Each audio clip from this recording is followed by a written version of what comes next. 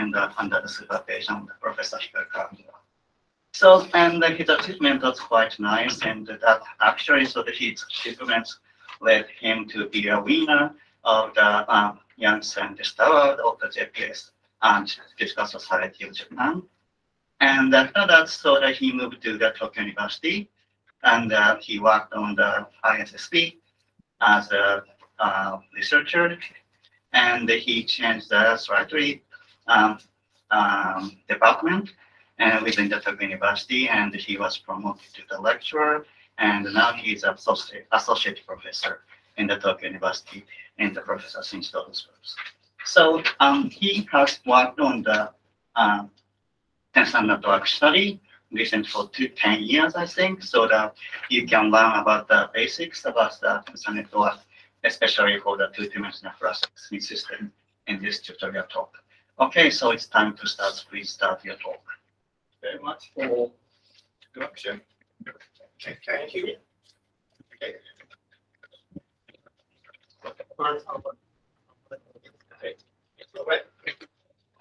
Okay, let me start. So, uh, first of all, uh, I'd like to thank organizers for giving this tutorial opportunity. So, okay, today uh, I'd like to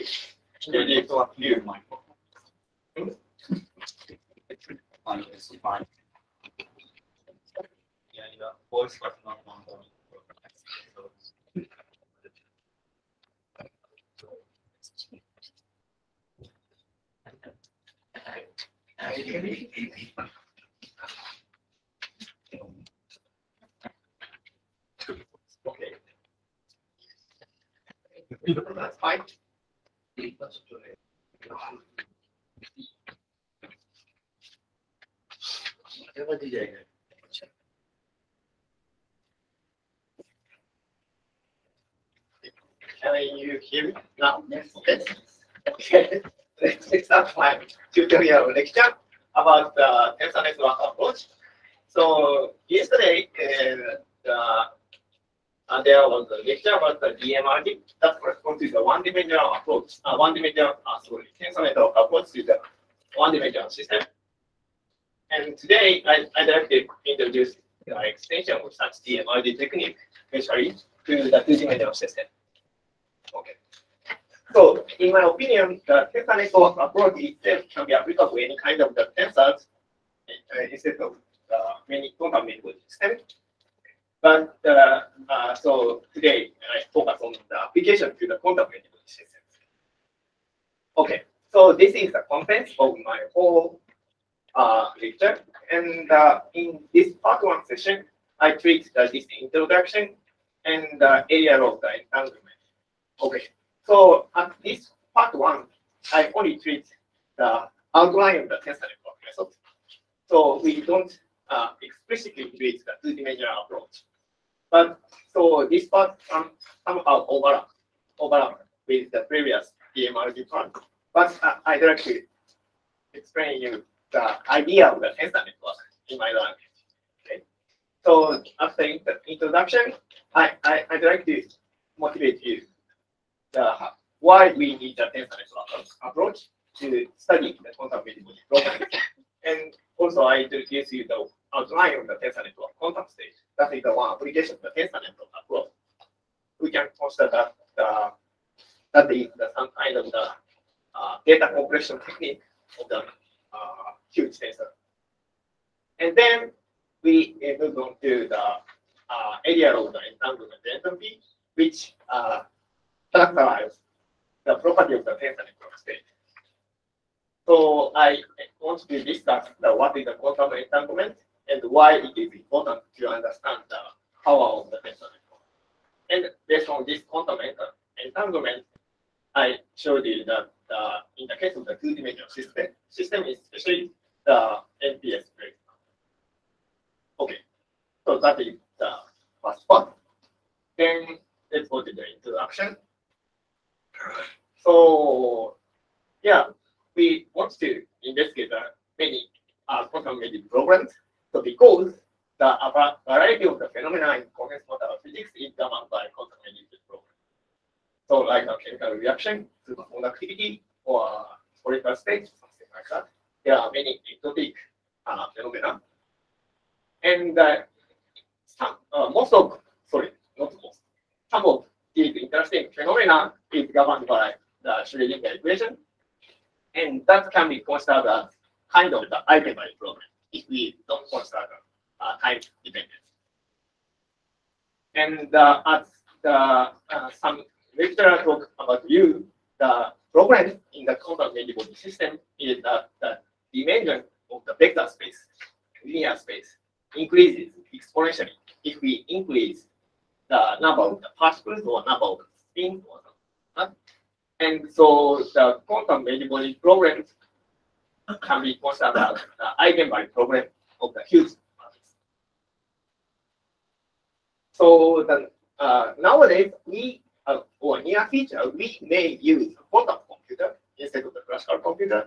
But uh, if we use only the classical computer to solve the, such, this kind of huge matrix, uh, matrix uh, eigenvalue problem, we need huge classical memory and huge computation time.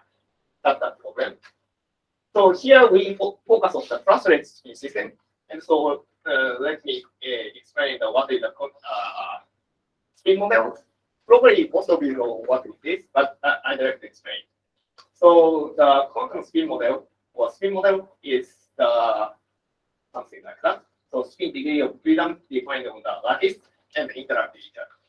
So the typical example is this classical model or Ising on the some lattice. So in this case, S is just a scalar and takes the plus minus one two values. And as we know, if we draw the phase diagram or the temperature dependence on the order parameter, we see the phase transition like this. So the for high temperature phase, the spin typical spin configuration is disordered, and but below the critical temperature, the we have the ferromagnetically ordered phase. In this case, the phase transition occurs by varying the temperature. And similar situation may occur in the case of the quantum system. So here we consider the quantum spin, so that in this case, S is the operator, spin operator. And the, here we have the interaction between the D component of the S, the spin S, and we apply the transverse field uh, orthogonal to perpendicular to the Z direction, in this case, X direction.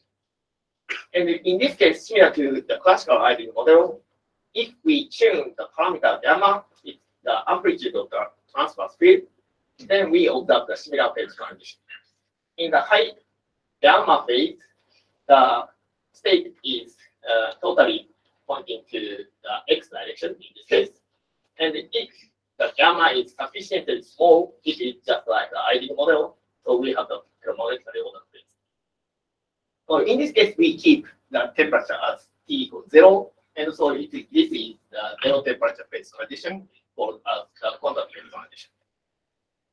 Okay, so this is the typical situation, but if we have the some competition among the uh, interactions in our spin system, the, that is called the frustration.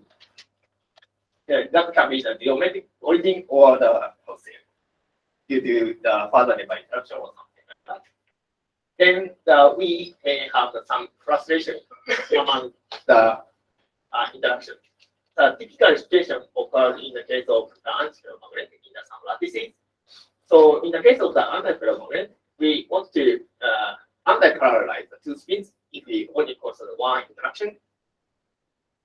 However, so if we uh, consider the triangle, uh, triangle and we consider three spins, and we know if we consider the Ising spin of this triangle, so there is a frustration. That means that on if we put the up spin and down spin to satisfy the this local energy derivatization on this bond, then we cannot decide determine the direction of the spin on this uh, on this node on site because if we put the up spin here, then the this bond becomes uh, unsatisfied, and if we put the down spin here, then the this horizontal bond becomes unsatisfied. Okay, so in this case, the we obtain the sum increase of the degeneracy of the quantum state. And this kind of the phenomena introduced uh, uh, variety of uh, interesting topics in the quantum spin system. And uh, this kind of the geometric frustration occurs in the case of, for example, Kagome or pyrochlore at least. And we observed a lot of interesting things like uh, no magnetic long range order due to the huge degeneracy like this, or no Nobel order induced from the weak perturbations, or liquid state, or protein or something. So, yeah, I believe we want to understand this kind of uh, phenomena induced by frustration. However, if we want to approach uh, this kind of quantum frustrated system, there are variables. So the here we want to apply, uh, investigate the program by numerics, and the, as uh, many uh, lectures showed you that the because the dimension of the Hilbert space increase exponentially, the computation technique to attack this quantum multibody problems are limited. So the, as Shimoka-san explained, we can anyway apply the numerical diagonalization technique to solve the eigenvalue problem. But as he said, the, for example, in the case of the one half spin system, we can treat at most uh, about 50 size 50 spins in the case of the AC one half spin. And but we are interested in the, for example, phase transition. So in order to understand the phase transition, we may need to consider much larger system than this 50 size. So we need a careful extrapolation to understand the physics. So uh, in my opinion, the uh, simulation based on the numerical diagonalization becomes uh, often severe because we need a careful extrapolation to the thermodynamic. The other example is the quantum Monte Carlo. So probably many of you know what is the Monte Carlo technique. So uh, by using this technique, we can uh, simulate the very large system. But as the lecture in the yesterday, maybe the, the there is a sign problem due to the Fermi Fermi uh, statistics or the uh, interaction, frustrated interaction. So in this case, if we are interested in the frustrated system, we cannot apply. Basically, we cannot apply the disk optical technique. So we need another technique. And the other third possibility is the so-called variational method. The, in this case, the, we actually uh, some wave function ansatz, and we try to minimize the energy expectation value based on the kind of assumed wave function ansatz. A variational Monte Carlo technique is one of the famous ways in this variational method. And uh, today's topic, tensor network method, or DMRG, is also in the, this variational. So uh, today, we want to discuss the uh, why tensor network method, tensor network, and that is so. So, or uh, I directly discuss about the when the tensor network uh, and that becomes are useful. Then the list is the outline of the data compression based on the data network. So the as I uh, mentioned, uh, in my opinion, can that the network approach or the quantum minimal system is some kind of the data compression technique. So based on this opinion, we say something like that. So as I explained, the quantum state vector is in the exponentially large dimensional Hilbert space. And so because of this, it is impossible to treat it in the classical computer. But if we can perform the efficient data compression to represent the, some quantum states, then we can treat such kind of vector in our classical computer. Fortunately, as I will explain later, the so if we consider the low energy state, including the ground state, the, it is known that the small uh, quantum correlation uh, exists, the, the general random state. It is called the area of the entanglement entropy. Uh, explained in the uh, the yesterday. And uh, in this case, we can represent the quantum state efficiently within a proper subspace. So this is the schematic view of the, our vector space. So the, this is the huge our vector space, space. But by considering the some special ansatz, we construct the some uh, sub subspace within the, this vector space. And uh, within this subspace, the probably the uh, area only the area law are satisfied. Uh, based on the quantum information theory, we can say that by construct, we can construct the such kind of a vector space, uh, sorry, not vector space, such kind of a subspace using the tensor network representation.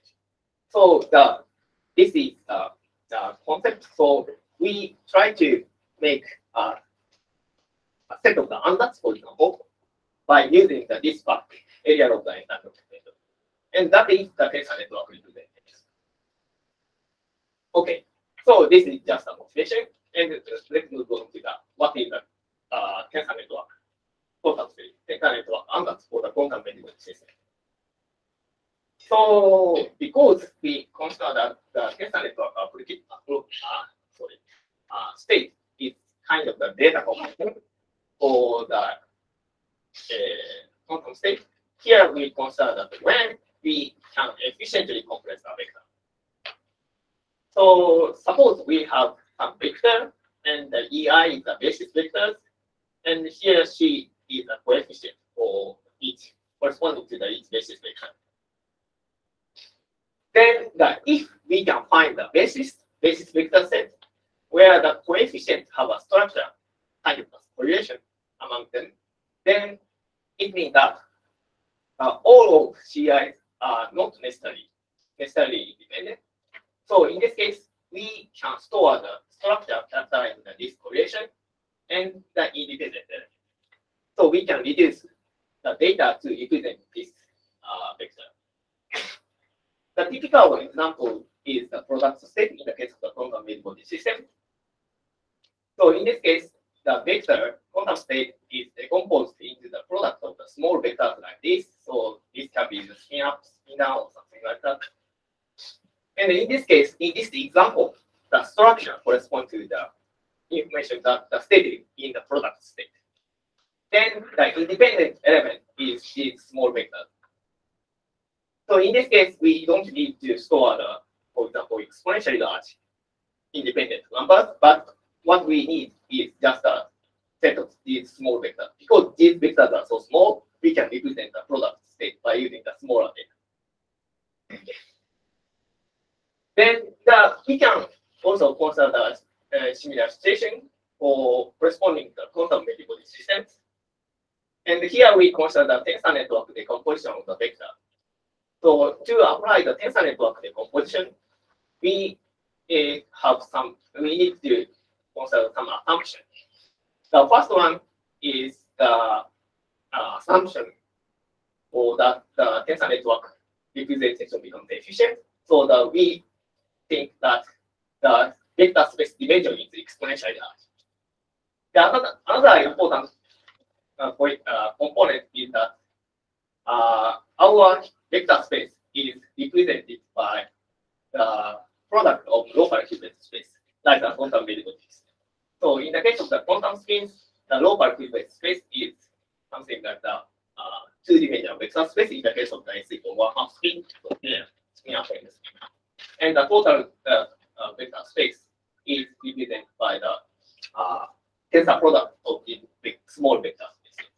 And in this case, we can apply the tensor network decomposition uh, uh, for the quantum variable system, and but also the variety of system. For example, we can apply the tensor network decomposition for the picture images because suppose we have the 256 and 260 fixed pixel images like this, then we can factorize these numbers as like the 2 to the 8 times 2 to the 8, and it means that the 16 leg tensor correspond to 8 goals. So we have uh, 16 legs, and global vector space dimension is 2. So this picture image data set data satisfy this condition, so we can apply the tensor network. The conclusion. Similarly, we can consider the probability distribution of, for example, eigenmodel. So in this case, we have actually the 2 to the n dimensional, how to say, realization in the spin, uh, uh, spin configuration.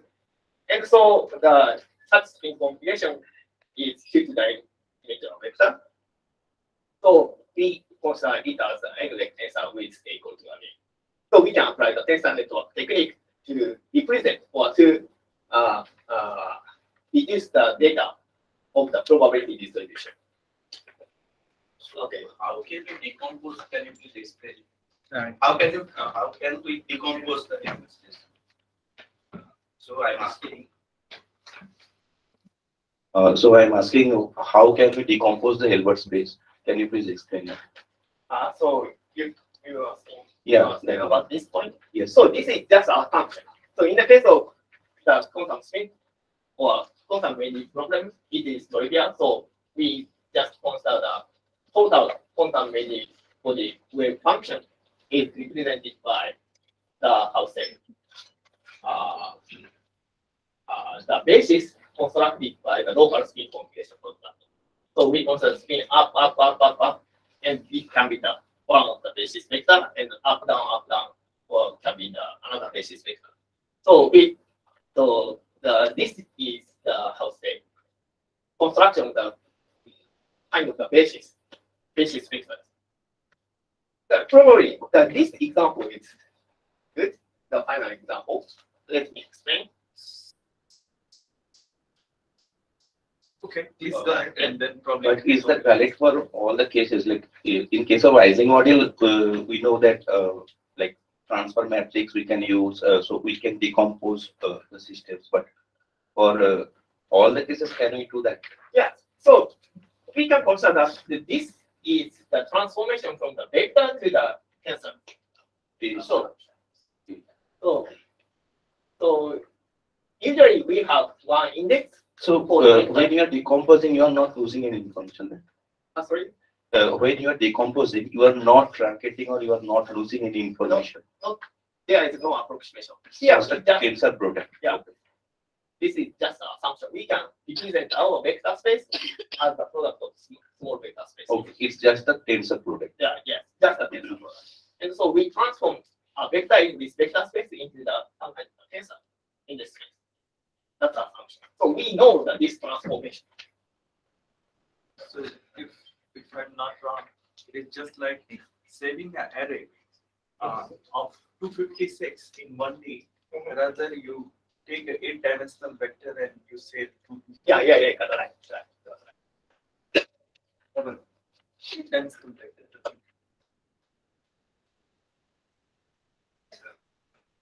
Locally. Yes. Mathematically, you are not doing anything, right? I Ah, mean, the right, right. C to the M is just isomorphic to the Yeah, right. right hand side. So This, yeah, this is just a representation. But the point is that to apply the tensor network decomposition, first we define the, this kind of decomposition. So this may be the kind of the definition to represent our vector in the tensor space.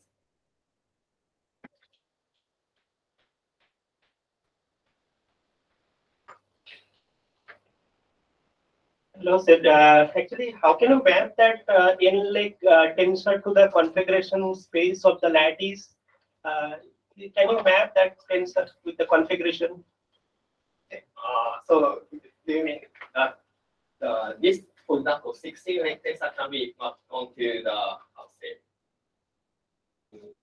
For example, that T, M1, M2, Mn, uh, how can you, I mean, uh, there is uh, 2 to the power n configuration is there in the lattice space. Mhm. So suppose I am taking one configuration and how can I map with that? that T M1 M2 uh, Mn tensor. So your question is probably related to the, this one. Yeah, that is lattice space. Lattice space. Wave function, wave function is there, and uh, Ising model cases psi T M1 M2 Mn, and uh, they okay that may be amplitude or what is configuration. I I cannot understand. Just locally, see, it's just one is a global where you have represented each individual in one array. Okay. Here, what you have done is you have separated it. I mean, n number of arrays. So separately for each local one, you have defined one array, one array.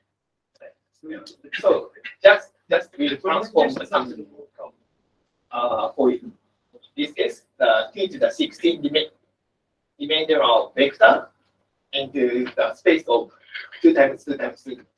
uh, table. So sixteen dimensional table. Okay.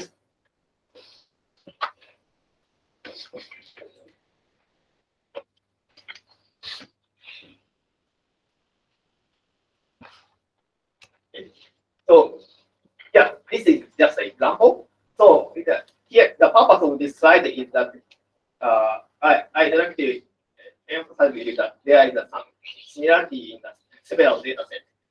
So, but today we focus on the, this example, so the case of the wave function. So, in this case, the maybe the most for most of you, like, this is the best example. So, we represent our quantum state by using the basis Typically, in the case of the quantum spins with s equal one half, this m1, m2 correspond to the L1 or spin up and spin down. And in this case, we, by using this basis, the our uh, quantum state can be represented as like this tensor. This m1, m2, mn correspond to the label index in the basis in the local small uh, vector space. So spin up and spin down, or zero or one in the cube. Anyway, the point is that the quantum state can be represented by the classical data in some sense with as the n-leg tensor like this. Okay. So the purpose is to represent uh, this uh, n-leg tensor is smaller data. That is the tensor network development. Uh, one of such kind of technique is the tensor network. Okay, then the tensor network decom- decomposition is something like that. So we have the n-leg tensor, and we represent the, this n-leg tensor as a product in, in some sense, a product of small tensor like. Here T1, T2, blah, blah, Tn is the tensor. So it can have the several legs like this. And the, these I1, I2, blah, blah, blah correspond to the these indices. And uh, there may be the complex, complicated connection between the these tensors. And in, uh, yeah, okay. And by using the diagram introduced yesterday, we can represent uh, this equation by the, uh, the diagram like this. So we have, for example, five leg tensor, and we represent uh, this five leg tensor by this kind of tensor. So this is the one example of the tensor network decomposition. And uh, here I'd like to remind you the definition of the tensor network diagram. So we represent the tensors as the object plus leg like this. So the, for example, matrix corresponds to the two leg tensor.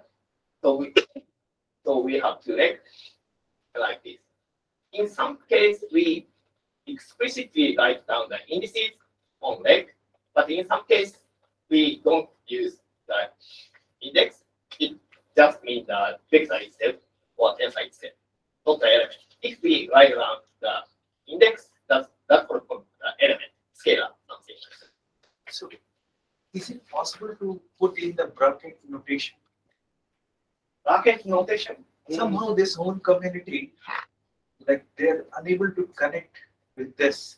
So that will be much more like efficient and it will be much more intuitive. Bracket. Yes. So when I, you represent I I would say that it's a local variable at one particular place, right? I mean, Yes, that's a just, just, just one configuration, local configuration Yes. at that particular place. So, mm, Tensor is completely sort of. so, yeah, look, different state, different. basically, the gra- bracket is bracket for bracket vector, text is just a basis, and we treat directly the numbers. It corresponds to the coefficients. Uh, so the represent using this basis. So it is not, not easy to transform these numbers with a bracket representation, but in the case of the quantum mechanical system, we may find that some uh, corresponding representation.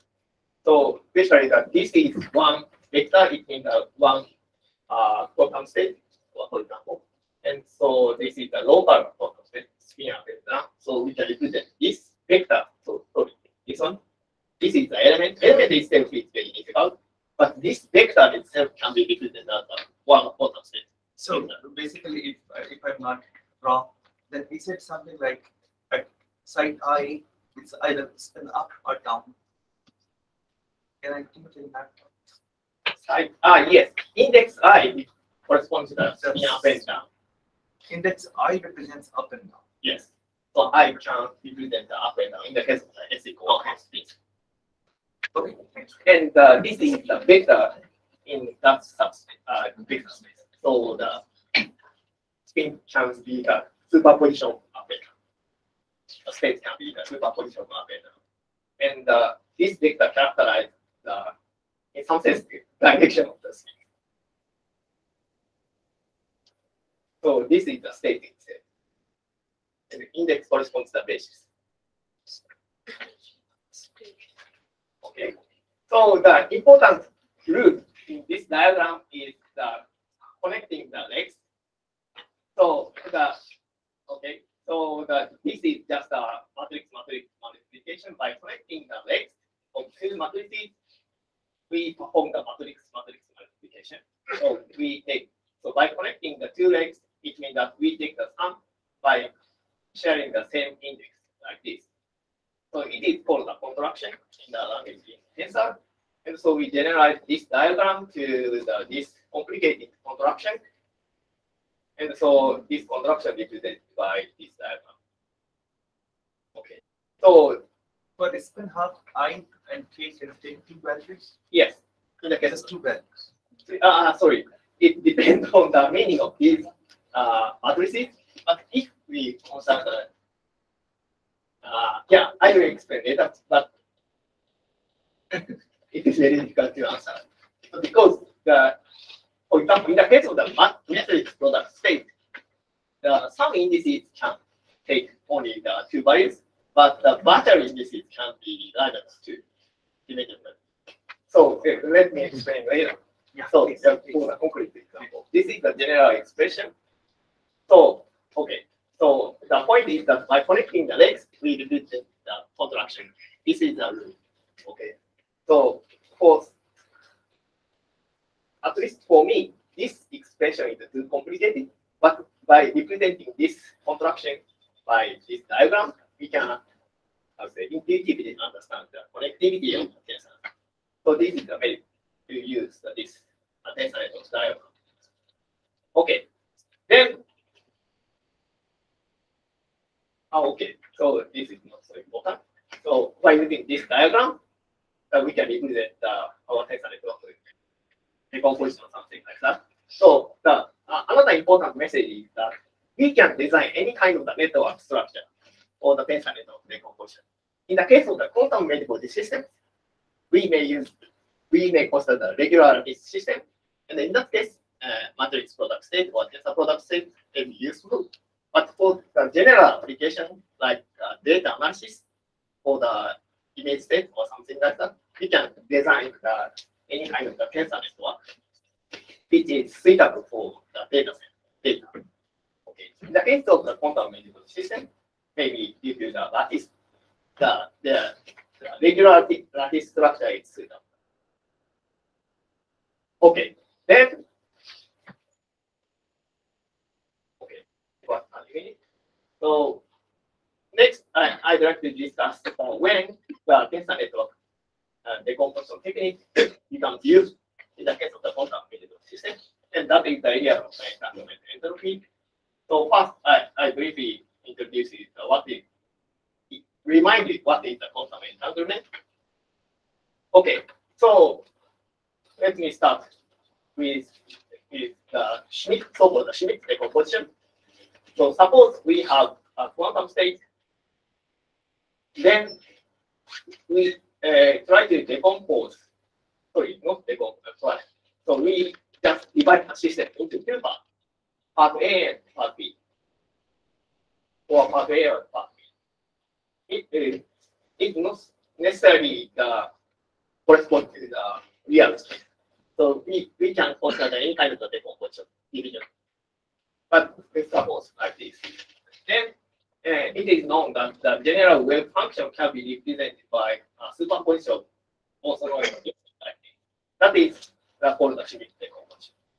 So usually the by using the usual basis, usual basis means the spin up and down, we can represent the quantum state as like this using by using the standard or in the language in the quantum computer computational by using the computational basis.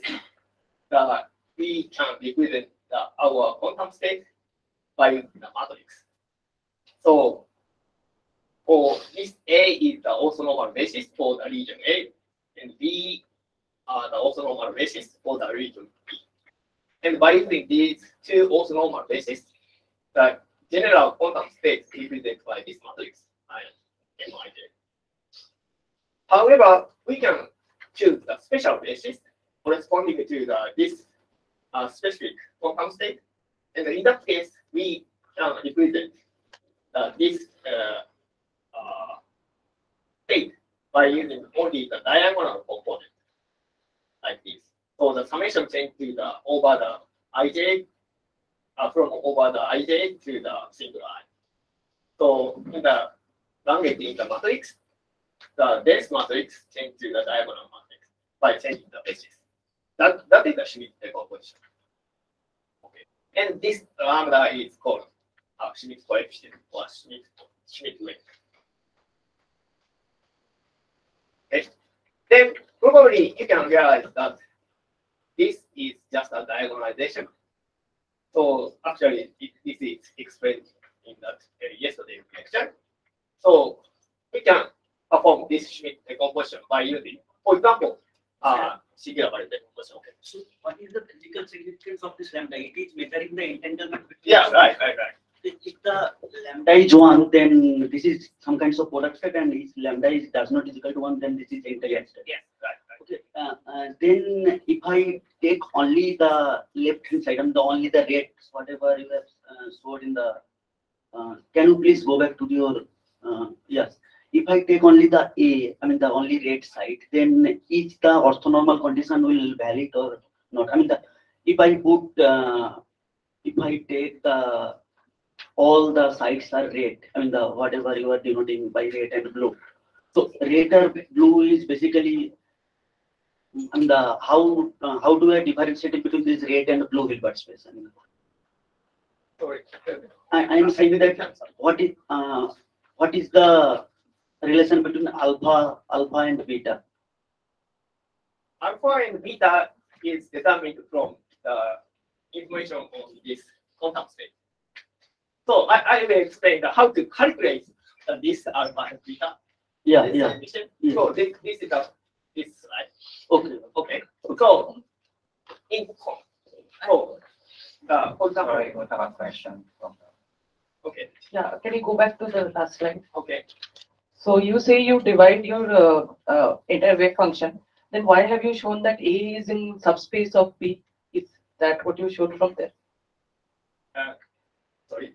Uh, is not the entire Huh. A is also some space. yeah, A is subspace, but are you trying to show that A is in some subspace of B or no? No. So A and B is the definite vector spaces. Yeah, And uh, here we perform the some unitary transformation in each subspace, and we try to find a good, a good basis to represent uh, this quantum state. And by choosing the good basis, we represent uh, this state as a simple combination of the, this one. So the point is that there is no off diagonal. So Yeah, I get, but in your diagram, A is within B, so I thought, uh, you're trying to show that Ah, okay. some, some subspace of B. No, this is the defined state. So like, so Ah. there is no overlap. Okay, I, I got confused with the diagram. Okay, I'm Thank sorry. you. So, yeah, okay, this is maybe the important question. Uh, question. So, in this uh, schematic view, the A, there is no overlap between the region and region. Thank you. I'm sorry. Okay, then let me explain. The so the, we can perform the this kind of Schmidt decomposition by using the singular value decomposition of the matrix. The singular value decomposition is like this. So we transform the any matrix into the this form. U and B are unitary, and the lambda is the non-negative uh, values. And so this kind this is kind of the generalization of the uh, how to say diagonalization or spectral decomposition. And uh, another important point is that these singular values are non-negative, so we can order these singular values, and by picking up the larger singular values, and by neglecting the smaller singular values, we can reduce the data to represent this matrix. That is called the low rank approximation based on the singular value decomposition. So, uh, in the sense of the data compression, so the this singular value decomposition is the standard technique to perform the data compression. Okay. Then the point is that by substituting this singular value decomposition into this representation,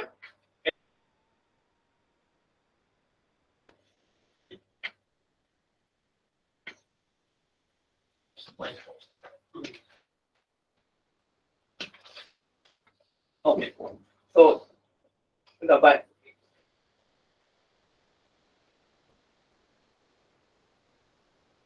Okay, so by using the unitaries, U and V, we can define the new basis, and by using this basis, we obtain the Schmidt decomposition.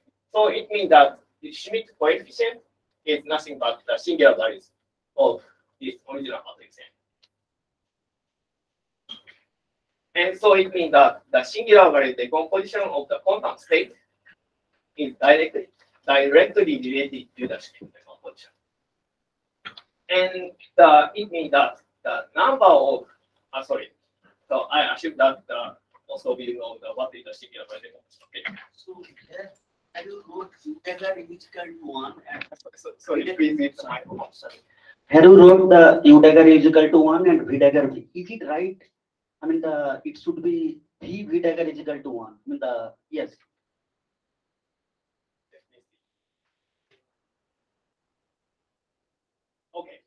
This is. Yes, yes, yes, yes. Okay, so, so here it should be changed, changed, it should be changed.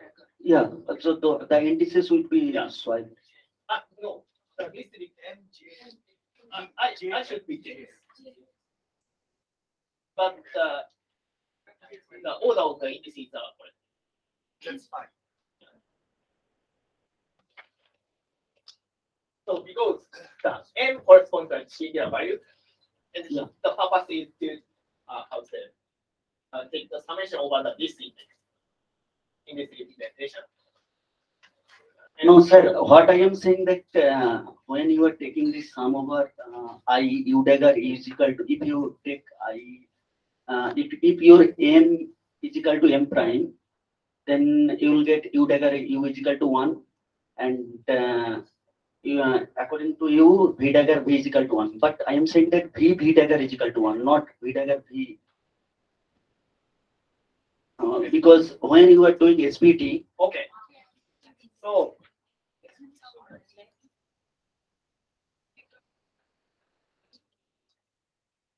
So, you- Your question is related to this one. yes, yes, yes. Let me see. Yeah. So, okay, so this is my mistake. So it should be the B, not the, the, the, maybe. Uh, yeah, It's not a is, square matrix. It's not a square. matrix. Then you have to clear. okay. Then, For a square matrix. Yeah. it's- For square matrix it is right, but not for, if there is no square matrix. Yeah, it- it's correct. So I, I guess, I, I think it is, uh, this is correct. And so by calculating the, this balance data, we Okay, okay. obtain this formula. Yes. So it, this formula coming from the, this summation over the It's a running variable that's. Okay, go. Thanks. Anyway, so by using the Schmidt decomposition, this is for your question.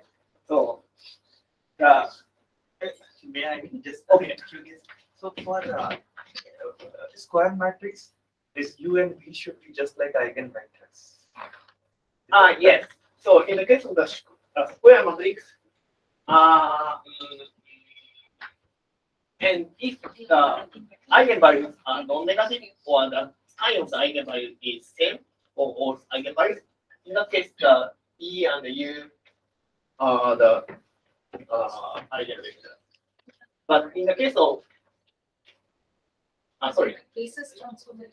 yeah, so in the case of the SVD, we may have the minus sign in the D It's the sign of the eigenvalues are defined. Okay. So the, in the case of the singular value decomposition, we understand that this is not a- But in density matrix, you always have lambda greater. Okay, in the case of the density matrix normalization, we consider the, product of M and N gamma. So maybe the point is important. In the case of the density matrix normalization, we consider the eigenvalue decomposition of N times N gamma. Then the that's correct. Then the how to say the eigenvalue of such then reduced density matrix corresponds to the square of this Schmidt Schmidt numbers, Schmidt uh, singular value. And then U and V should be the eigenvectors of the. Yes, yes, in that case. So if we consider m times n dagger, we obtain the eigenvectors represented by this u. And if we consider m dagger m instead of the n m dagger, in that case, the eigenvalue corresponds to this.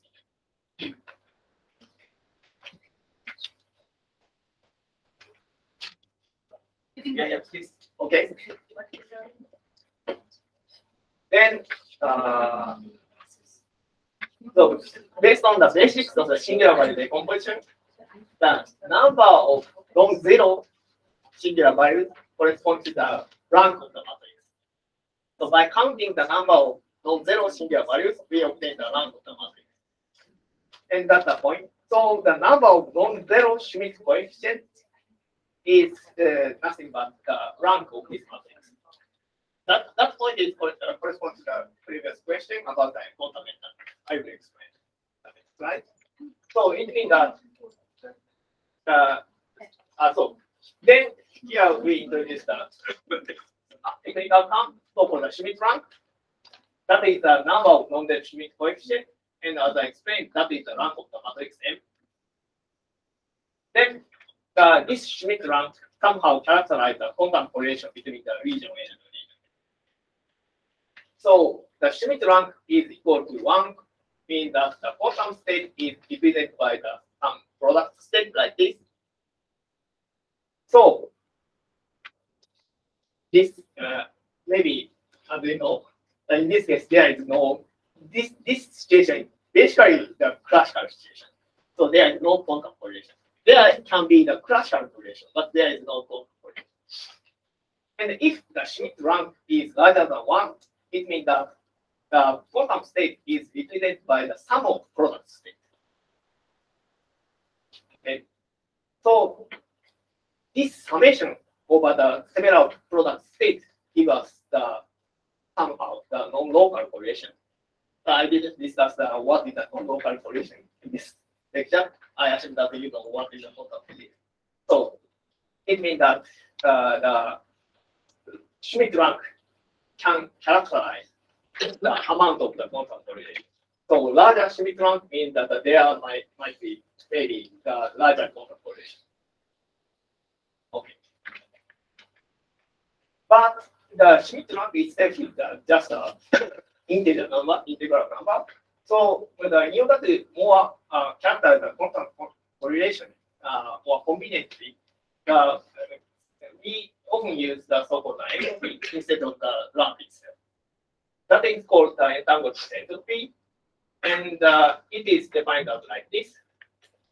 Again, we consider the, uh, uh, divide the quantum state into two parts, A and B, and we try to characterize the quantum correlation between A and B.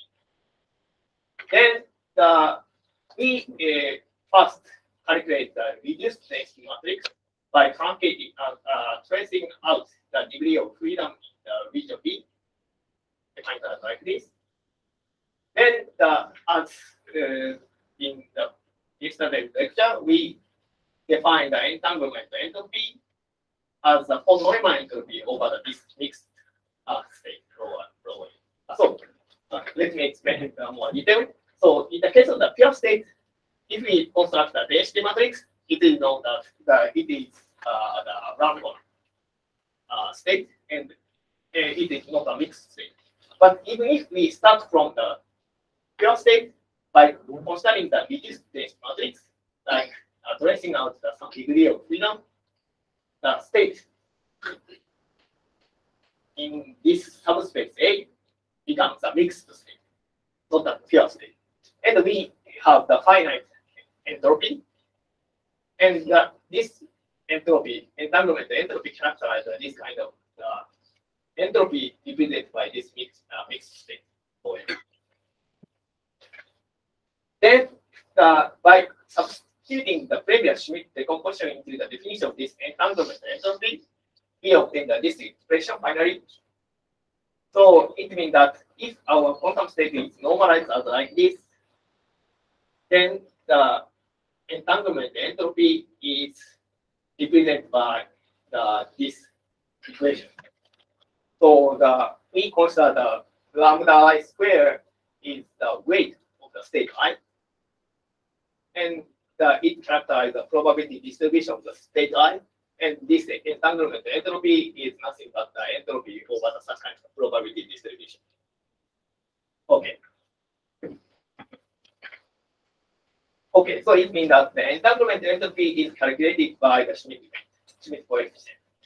And from this calculation, we can also know that in this case, we use the rho A, but we perform the similar calculation for the rho B, and we calculate the entanglement entropy by using the rho B.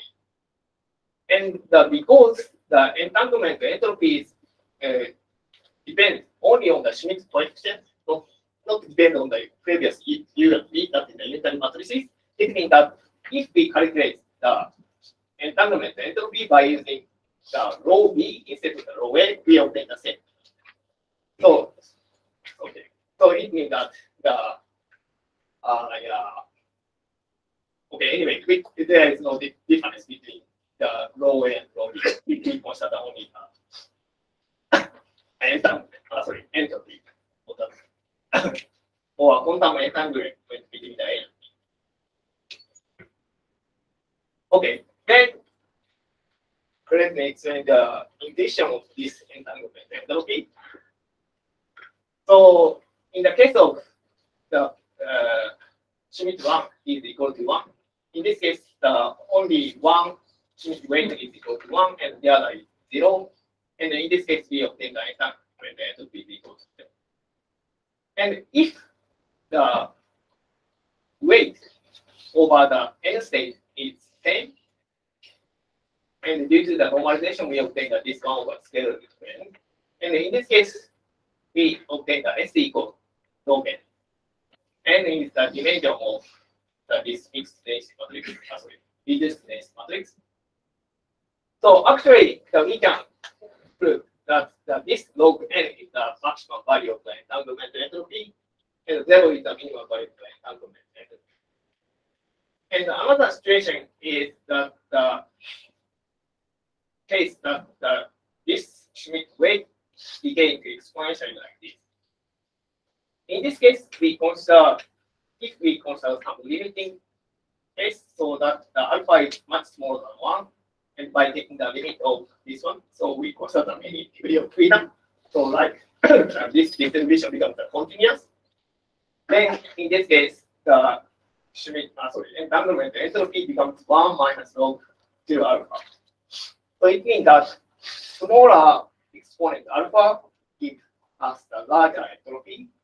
So in the limit of the flat spectrum, we obtain the maximum.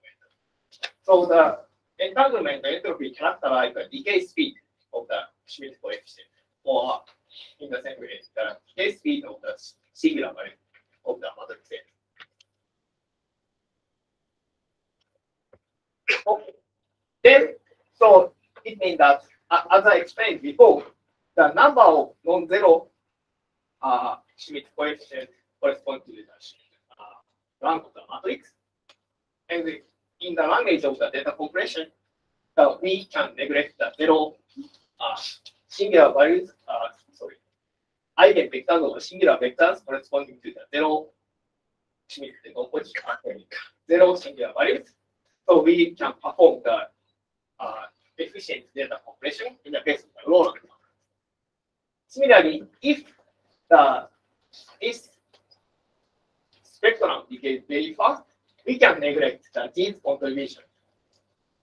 It means that we can perform the low rank, uh, approximation of the matrix M efficiently. So it means that if the entanglement entropy is small, we can efficiently approximate our space by neglecting the smaller singular or smaller Schmidt coefficient. So we don't use the smaller lambdas to represent the, our quantum state in in this in this Schmidt decomposition form. That is the basic idea in the data compression using the this uh, say quantum entanglement. So sorry, I have a question. Okay. Um, so, um, I cannot imagine the situation we can get the flat lambda i value and exponential decay case. So So, so the typical example is n equal to, and uh, if we consider a singlet, in the case of the s equal one half spin, that gives us a flat spectrum. So because singlet is the superposition up and down and down, uh, up down and down up, and the rate is. So the by comparing the singlet expression with this decomposition, we realize that the lambda i corresponds to the one, one over square root two, and that corresponds to the this flat spectrum in the case of the n to. And similarly, if we have the n degree of freedom, we can design the such kind of uh, in some sense symmetric state, and uh, that give us the flat spectrum. And actually, it is called the maximally entanglement state because it gives us the maximum entanglement. So that state gives us the how to say largest entanglement, total entanglement. flat spectrum situation can give the largest en- entanglement? Yes. And the exponential decay is a typical situation. So it means that, uh, not typical, but so most of the state shows that this exponential decay asymptotically. So can you give the concrete example for the exponential decay case? Uh, yeah, if, if we calculate the ground state of the, some gap system and gap, gap quantum system, uh, probably in the tutorial, we calculate the distance system for the quantum system, and you can see that uh, it looks like the exponential. Thanks very much. I thought that any gap system where the correlation is very small, Okay, yes, you should be, you're supposed to get the exponential decay of the yes, right, yeah, right.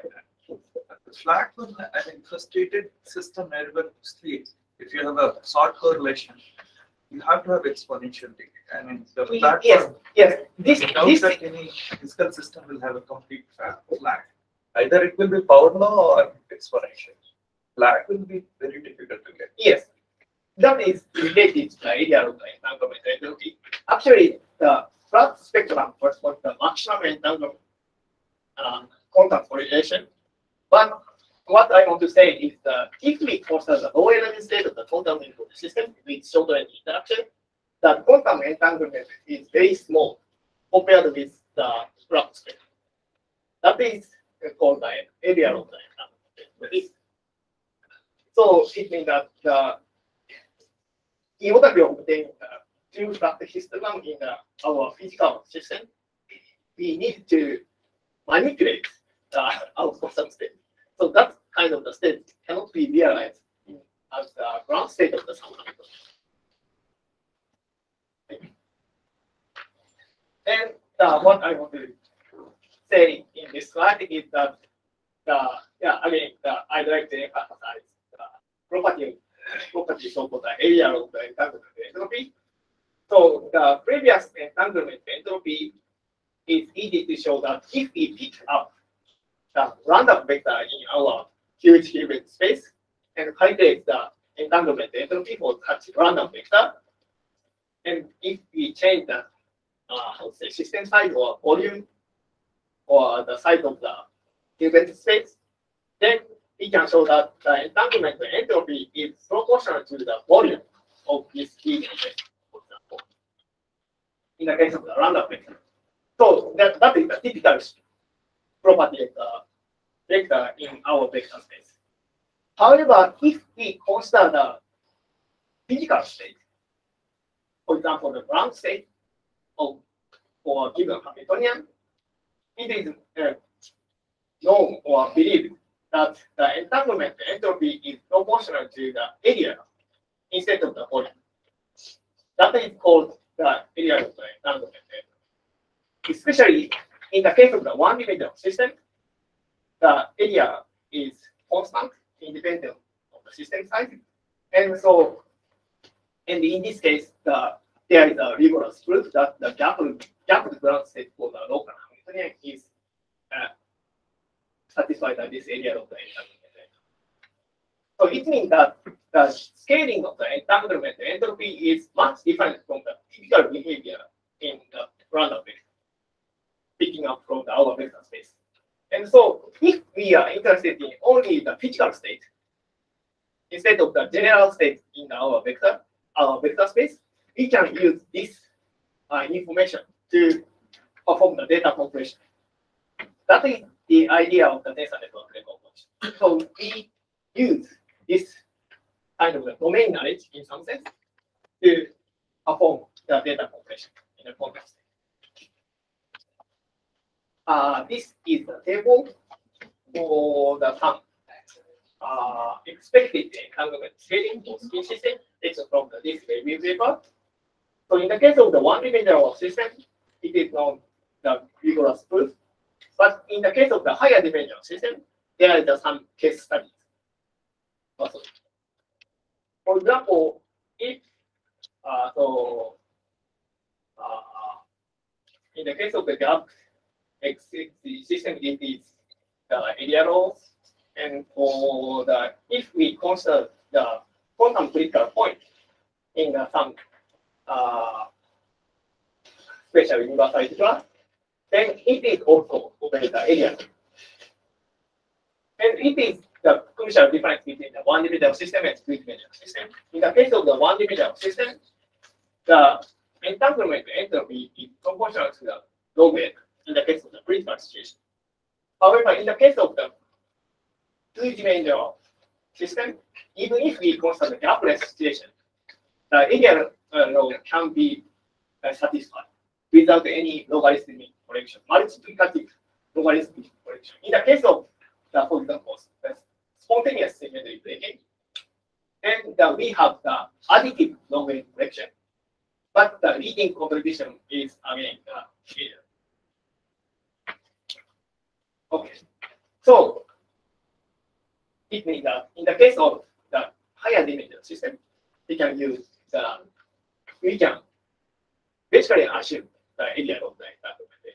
even in the case of the system. Okay, so this is uh, some uh, calculation, numerical calculation, characterize the scaling of the entanglement entropy. The left slide shows the some entanglement entropy as a function of the system size n. So the here we put the dimension of the our vector space as 2 to the n. So like the quantum many-body system. Then as we increase the n, the entanglement entropy increases like this. And so it means that entanglement entropy is proportional to the n, and in this case, n is the volume of, of our system. So because this shows the volume of the entanglement entropy if we consider random vector in this vector space. However, for example, if we consider the ground state of the this transverse field Ising model, and here we consider the up state, then the entanglement entropy may tend to saturate for the larger end. And if we compare the value itself, the in the case of the random vector for the n equals 20, the entanglement entropy itself is the 6, but in the right hand side, the value is uh, one of, uh, about uh, 4.7. It is uh, more than one order. So by comparing this, this situation, we can realize that the, our quantum mechanical state, the physical state, has a low, very low, small quantum entanglement. So we have a question from the online audience. Okay. Uh, please unmute mine. Okay. Yeah, so, so when we calculate this entanglement entropy, you have uh, Sorry, we taken. cannot hear. Just a second for the government.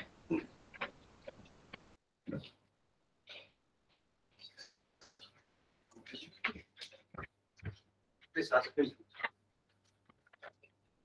Shashikant, you can ask your Uh, question. so Yeah, please uh, ask. when you uh, calculate this entanglement entropy and plotted in this figure, so you have taken uh, equi-bipartition or an any bipartition. So uh, what, what I think like uh, the uh, rule of that uh, area law or volume law is like uh, uh, how much like for 1D system, like uh, how you uh, partition the system, like in, independent of that, that entangle entropy will remain the same. So here, this n is the total system size or that uh, partition system size?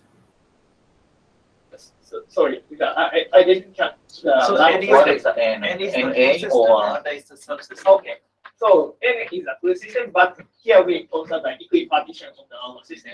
So we divide the system into N over two and N over two. That's the question, uh, answer. So we consider the equipartition of the our system into two parts. And so in this sense, the, we should consider the plot, uh, N over two instead of N, but uh, it is all almost same. Okay, Like uh, same rule can be verified by fixing the system size and dividing the uh, bipartitions length. ah, okay. We can also consider such kind of situation, and we can the uh, similar scaling in the case of the, uh, for example, physical system. But uh, I guess once we fix the system size, we have the, some boundary effect for the larger sys- larger end. So probably it is better to increase the system size, uh, total whole system size together with considering the by uh, partition. Okay, thank you. Yeah. Okay.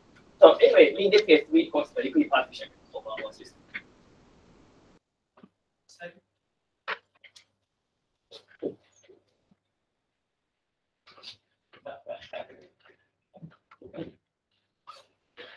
Uh, uh, Sir, uh, go back to your previous slide. Ah, this one. So here you were mentioning that the random vector, uh, in the case of the random vector, the volume law is, um, and uh, in the in the case of the ground estate, it is the area law. Why you are saying this? Uh, this state is political. In this case, we want the one dimensional chain. And uh, I, I, I'd like to say that this is almost highly independent in the asymptotically, and so it means uh, area law in the one dimension. So if you observe the some N dependence here, but this is, this can be considered as the finite size effect. And so uh, the point is that for larger N, we may observe the saturation of entanglement entropy by extrapolating this behavior. And we see that some, somehow the saturating behavior, of the entanglement entropy is broken. Unfortunately, here I use the exact diagonalization of the system size is limited. Okay, so you are saying that, uh, yeah, it is actually going to the, some constant value for the entangled entropy, in the Yes, case for the transverse field Ising. Yes, yes, So that's why it is, follows the area law. yes, right. Okay. And, uh, um, okay, so mm, can you please go back to the two slides before? That's right. Um, Yes. Uh, Here you can say that the entangled entropy is proportional to its volume. And um, Yeah. after that, for lot of ground states, the entanglement is proportional to its area. Yes. So is this the same reason uh, you are saying that? Same reason. Like, anyway, the point is that uh, the area of just mean the entanglement entropy is proportional to the area. So the, if we consider some subsystem, and in this special example, we consider one dimensional chain. And so if we divide the system into two parts, the area is the, how to say, order one. It does not depend on the system size. And it means that the, this entanglement entropy becomes constant. Independent of the system size. And it, it means the same. Uh, the Okay. Okay, sir, thank you. So you're almost around now, I Okay. think, even for the question time. Yes.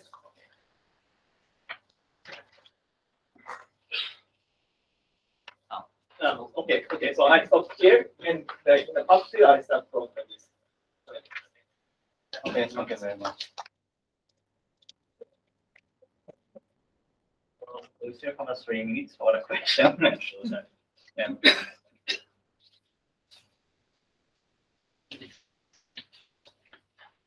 Um, I still have a question about the, um, volume law for the random state. I think, uh, random states can represent the high temperature, uh, Yes. state. So that's correspond to the non-consuming state, I think. But why we can see the volume law? Uh, it's a good question. So the, it depends on the, some kind of the typicality. So the, yeah, probably, Shimura-san will know about typicality. So the, usually the finite temperature state is defined as the mixed state instead of the pure state. But we know that the, we can represent the typical behavior of the finite temperature state by the, by the single pure state. The random state corresponds to the pure state, uh, such kind of thermal pure state Yeah, yeah. at the high temperature region. And in that situation, the entanglement entropy just represents the usual thermal entropy instead of the con- uh, entropy. Yeah, so that's, And- uh, yeah, something that I so- think there are many ways of, uh, controlling the paramagnetic states of finite temperature. And the, as you know, It the, shows the pure state to represent the quantum vector. I see. and, and and as you know, the thermal entropy is proportional to the volume. And uh, this volume law behavior corresponds to the uh, okay, thermal pure state. Okay. Yes. So it's like you are saying that if you have a complete random configuration, you have much more like entropy in the system. I mean, that's. Yes, yes, yes. But then, you see that, I mean, this maximally entangled method, what they use for uh, DMRG.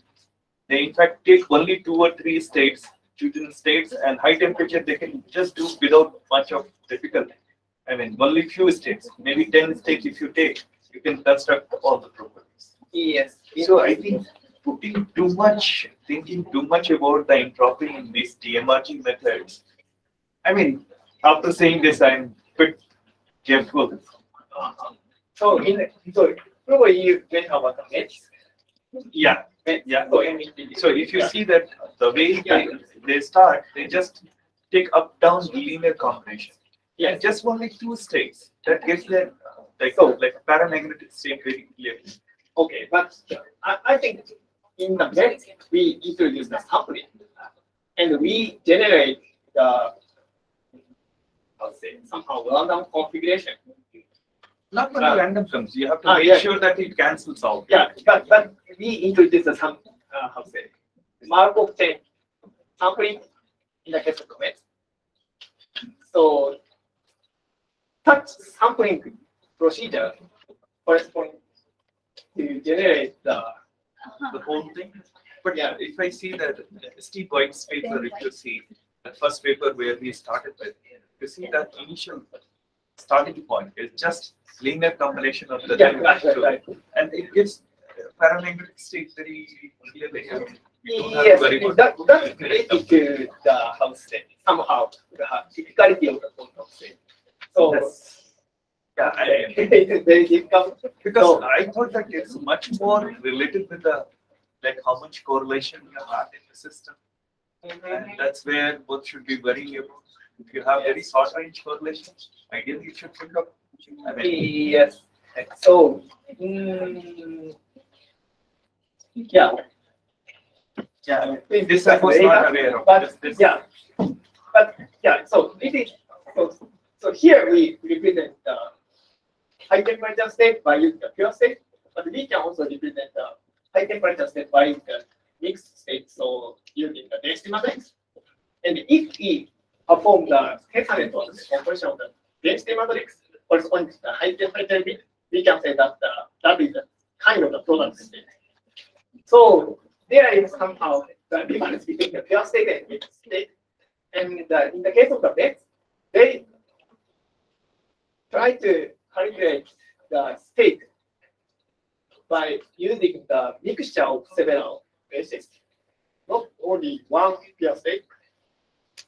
So that corresponds to the some something different between the state and this. No, but if it is the temperature dependent or like high temperature, this thing, then I don't know. Then you should consider those, that's a, that contribution is coming from the thermal fluctuation rather the quantum Yeah, fluctuation. it, it's we are, I mean, in quantum system, we are more interested in the, uh, uh, like, uh, from the on quantum fluctuations right. rather those, Yes. uh, Yes, those other big. yes, yes. Thank you. Thank you very much. Okay, so it's time to Yeah, there is now question. Yeah, so uh, what you are showing the transfer, transfer split as in that case, so that is in the order state, right? Order Yes, phase. Yes, all So if you go for further gamma, so it eventually comes into paramagnetic, uh, yeah, in the disordered state. Mhm. So when uh, you are in that state, in that phase, uh, so your, this thing is, going, uh, anti-entanglement entropy is going to be following the area law or it is Yes. going to be like the random? okay? Yes. Uh, in, in, the, say, larger gamma state, Yes, we also have the area of the Yes. entropy. But at, at the critical point, uh, so the in bit, how say, the separation point of the low gamma state and the high gamma state, then the, it follows the, uh, this schedule. So we have the log L, or log in the previous representation, log L schedule at the special critical point. But in other states, so the for general gamma, we have the area. So the eventually, so the collection, finite size correction depends on the value of the gamma. So the heat gamma becomes close, closer to the critical point. The final size uh, behavior becomes large.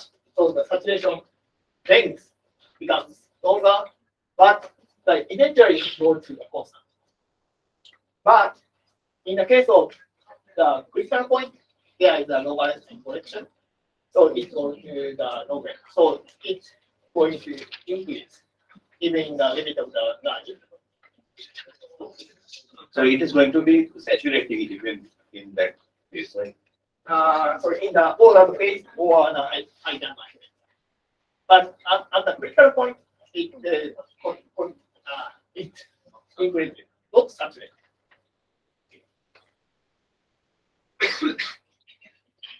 okay, so now is the time to close. So the thanks to uh, the and I want. Yeah. So uh, thank you, Professor, for